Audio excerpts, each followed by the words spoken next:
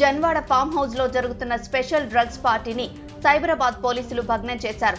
అయితే farm house KTR బావమరిది రాజ్ పాకాలది కావడంతో హాట్ టాపిక్గా మారింది. జన్వాడ రిజర్వ్ కాలనీలో ఉన్న రాజ్ పాకాల ఫామ్ హౌస్లో డ్రగ్స్ పార్టీ జరుగుతోందని పోలీసులకు సమాచారం అందింది. రాజ్ పాకాల ఫామ్ హౌస్లో సైబరాబాద్ ఎస్ఓడి స్పెషల్ పార్టీ పోలీసులు ఆకస్మిక దాడులు చేశారు. డ్రగ్స్ పార్టీ జరుగుతున్నట్లు గుర్తించి పార్టీలో పాల్గొన్న వాళ్ళకి డ్రగ్స్ టెస్ట్ చేపించగా అసలు వ్యవహారం బయటపడింది. డ్రగ్స్ పార్టీలో పాల్గొన్న ఒక వ్యక్తికి కొకైన్ డ్రగ్ పాజిటివ్గా తేలినట్లు సమాచారం. డ్రగ్స్ తీసుకున్నట్లు మరికొందరికి సైతం టెస్టుల్లో పాజిటివ్గా రావడం కలకలం రేపుతోంది.